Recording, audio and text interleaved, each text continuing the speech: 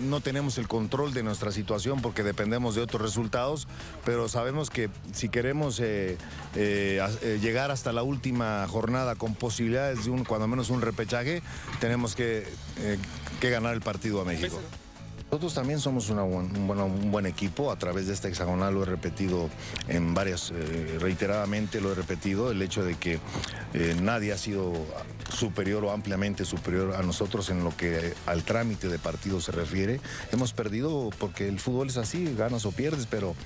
eh, que nos haya un equipo dominado ampliamente no ha sucedido para nosotros. Ahí nos estamos aclimatando, hay un buen ambiente, hay un buen grupo, la gente nos quiere mucho, nos ha respetado mucho, nos han recibido bien y eso es bastante Adaptarnos al ambiente que se vive aquí de cara al partido y